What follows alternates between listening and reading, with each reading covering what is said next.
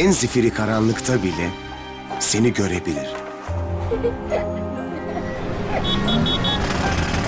Dünyanın en gürültülü yerinden seslen ona. Seni duyabilir. 3500 kilometre uzakta o elini tutabilir. Ona bazıları süper kahraman diyebilir. Sen yalnızca anne dersin.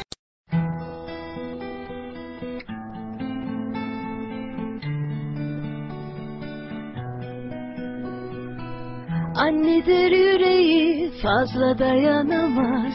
Herkes bıksa benden annem bana doymaz. Öper besler beni unutur kalbinde Annem burada olsun bana bir şey olmaz. Her gün bakar bana kusurumu görmez.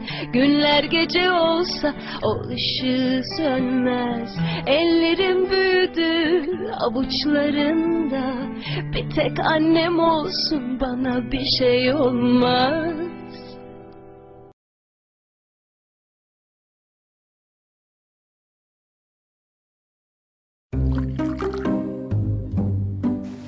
Anne.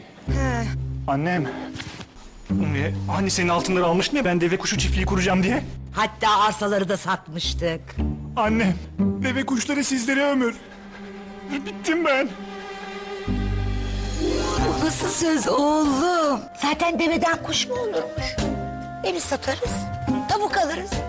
Onlara hiçbir şeycik olmaz.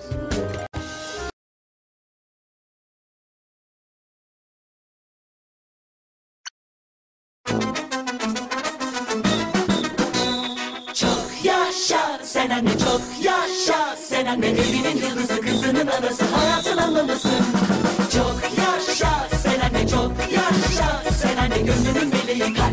çiçeği hayatın anlamısın